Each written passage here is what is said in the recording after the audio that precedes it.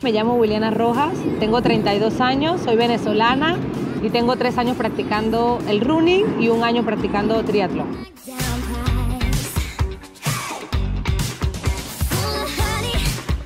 Le tengo mucho amor al correr. Le he dedicado mucho tiempo, mucha pasión y mucho amor a este deporte. Comencé a hacer un poquito de bicicleta para fortalecimiento y empecé a meter un poquito de natación, un poquito de bicicleta y cuando me di cuenta ya estaba haciendo triatlones.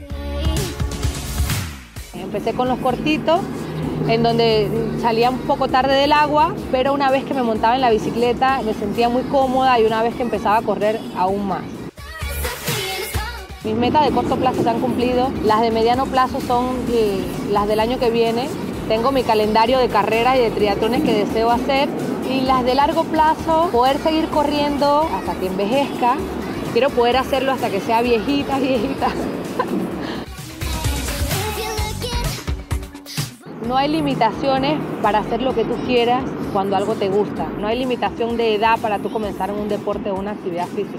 Yo soy el vivo ejemplo de eso. Comencé tarde, ya después de los 30 años. Entonces yo creo que eso es lo importante, que no solamente te sumerjas en el trabajo, en el estrés del día a día, en el tránsito. O sea, creo que vale la pena complementar tu vida con otras actividades que te produzcan y te generen placer. Yo los invito a que practiquen un deporte, les invito a que salgan de sus hogares y de, de la cotidianidad del trabajo a hacer algo diferente. Y bueno, que nunca es tarde para comenzar a hacer lo que te gusta hacer.